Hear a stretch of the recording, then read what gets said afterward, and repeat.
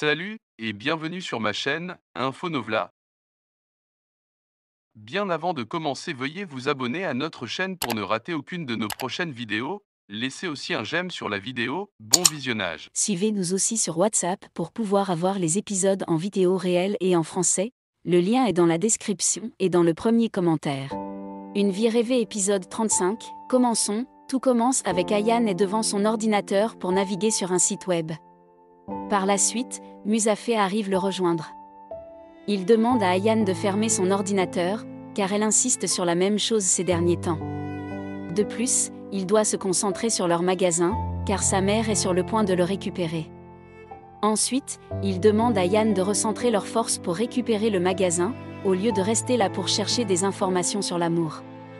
Ou bien, elle peut lui demander si elle a besoin de savoir quelque chose sur l'amour, car il a beaucoup d'expérience sur le sujet à cause de sa nom. Ensuite, Ayan lui demande pourquoi il pourrait être sûr qu'un jour il sera le petit ami de Sanem. Mais Musafé se met en colère. Il demande à Ayan d'arrêter de poser ces gènes de questions. Ensuite, il rappelle à Yann qu'il a déjà parlé avec les parents de Sanem concernant leur mariage. Pour l'instant, ils sont en train de réfléchir pour prendre une décision, mais il sait déjà leur réponse. Ayane lui dit qu'elle connaît toute son histoire d'amour du début à la fin, donc elle est sa témoin la plus proche, mais aussi elle n'a pas besoin d'un tel amour. Musafé lui demande d'essayer de comprendre, car l'amour c'est incroyable s'il n'y a pas d'obstacle. Parce que sa relation avec Sanem n'a pas marché comme il le souhaitait, car il y a des gens autour de Sanem qui ont ouvert leurs mains comme des aigles. Ensuite, il montre à Ayane une photo de Khan en lui disant qu'il va continuer de le combattre. Mais Ayane est un peu énervée, elle dit qu'elle ne peut pas obtenir des conseils de sa part, donc il serait plus utile de parler avec les murs. Mais aussi elle ne comprend pas pourquoi tant de personnes souffrant d'amour sont réunies dans un bloc ou quoi. Par la suite, elle s'en va et demande à Musafé de venir avec elle. Pendant ce temps, Sanem est dans un taxi avec son amie Gouliz. Elles sont déjà prêtes pour l'anniversaire de Pauline. Ensuite, Gouliz dit à Sanem qu'elle est très contente aujourd'hui, car elle va passer un bon moment pour ce soir. Parce que la famille de C est très célèbre dans la ville, donc Khan va préparer beaucoup de surprises pour Pauline. Sanem lui dit oui, normalement, parce que c'est son anniversaire. Mais Gouliz lui dit que ce jour n'est pas un simple anniversaire, car Khan va se réconcilier avec Pauline. Sa néon est un peu surprise, elle demande à Gui ce qu'elle a dit. Gui répond oui, parce que le chauffeur de leur entreprise travaille aujourd'hui avec Pauline pour aller chercher les effets personnels de Pauline chez sa mère, mais Sanem lui demande si elle est sûre, Gouliz lui répond affirmativement. Elle a trouvé le chauffeur elle-même, annulé son billet de retour à Londres, et aussi organisé une réunion d'affaires à Ankara en son nom. Sanéon est un peu surpris, puis dit à Gouliz qu'elle a changé d'avis concernant la fête. Gouliz s'interroge sur ce revirement et encourage Sanem à venir pour se distraire un peu.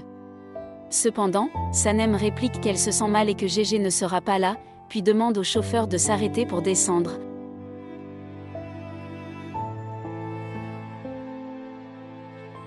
Après quelques heures, l'anniversaire commence. Khan cherche Sanem parmi les invités sans la trouver. Il croise Gouliz et lui demande si elle a vu Sanem. Gouliz explique qu'elles étaient ensemble dans le taxi mais que Sanem a changé d'avis en cours de route.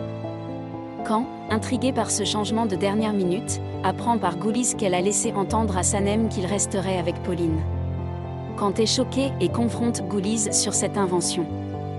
Gouliz justifie que Pauline a annulé son billet et que le chauffeur a récupéré ses affaires, mais elle assure à Cannes qu'elle peut arranger la situation. Dans un autre lieu, Gégé range des bagages dans la salle de théâtre et reçoit un appel de Sanem, qui lui demande s'il est toujours là. Gégé confirme mais mentionne sa phobie des pièces vides. Sanem le rassure en disant qu'elle arrive bientôt. Pendant ce temps, Quand, dans sa chambre, envoie un message à Sanem pour connaître sa position. Sanem arrive au théâtre, surprenant Gégé et le réconfortant après l'avoir effrayé, elle lui demande de lui montrer l'entrée de la salle. Une fois à l'intérieur, Sanem se remémore des moments passés avec Gégé, puis remarque le message de Khan et lui envoie sa position. Pendant ce temps, Khan se prépare à rejoindre Sanem. À l'extérieur, Pauline discute avec Aline, demandant si elle a vu Khan. Aline répond par la négative. Pauline voit alors Khan sortir et Emre essaie de l'appeler sans obtenir de réponse. Khan monte dans sa voiture et part. De son côté, Sanem quitte la grande salle pour se rendre dans une suite privée. Peu après, quand arrive au théâtre mais trouve la porte fermée. Il commence à frapper à la porte pendant que Sanem dans la suite privée, remarque que les lumières sont éteintes. Ensuite, Sanem appelle le nom de Gégé pour lui demander ce qui se passe. Elle se retourne et voit Kant arriver. Quand lui dit qu'elle a écrit si seulement et maintenant il veut savoir la suite de son message. Sanem regarde ses chaussures pour voir si Khan porte les mêmes que le garçon qu'elle a embrassé le jour de l'anniversaire. Après quelques instants, les deux s'embrassent.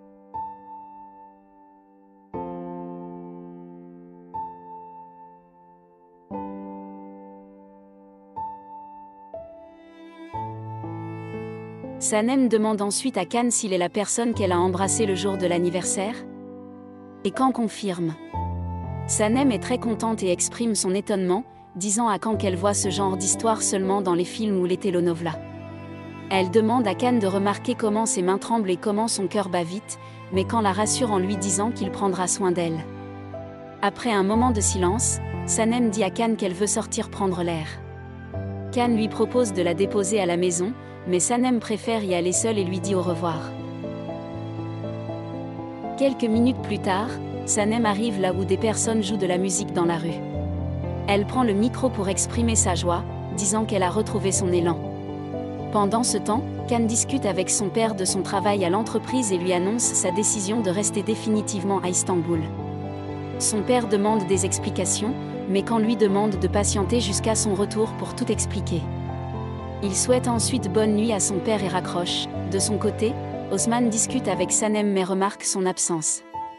Il lui demande de revenir, mais Sanem explique qu'elle est en train de réfléchir à des choses extraordinaires. Elle lui explique ensuite ce qui s'est passé entre elle et Khan, exprimant sa peur des mensonges. Osman lui assure qu'il a une solution pour résoudre le problème. Pendant ce temps, quand est dans sa voiture pour rentrer à la maison et reçoit un appel de Derim, lui annonçant que leurs clients ont vu les photos d'Osman et ont changé d'avis pour l'acteur qu'ils ont choisi. Derim demande à Khan d'appeler Osman demain à l'entreprise pour lui proposer un contrat. De son côté, Khan refuse de répondre à Sanem sur pourquoi il a quitté la fête sans rien dire et lui souhaite bonne nuit. Dans sa chambre, Sanem tient la plume que Khan lui a offerte. Pendant ce temps, Kant arrive à la maison et trouve une lettre de Pauline lui annonçant qu'elle va rester chez sa mère car ses efforts pour le reconquérir n'ont pas fonctionné. Khan se rend ensuite dans la cuisine pour manger les chikoftes préparés par Sanem. C'est sur ces images que se termine l'épisode 35 de cette merveilleuse série. Abonnez-vous pour pouvoir recevoir l'épisode 36 et les autres suivants car cette série nous réserve beaucoup de surprises. Suivez-nous aussi sur WhatsApp pour pouvoir avoir les épisodes en vidéo réelle et en français. Le lien est dans la description et dans le premier commentaire. Au revoir, à bientôt pour une toute nouvelle vidéo.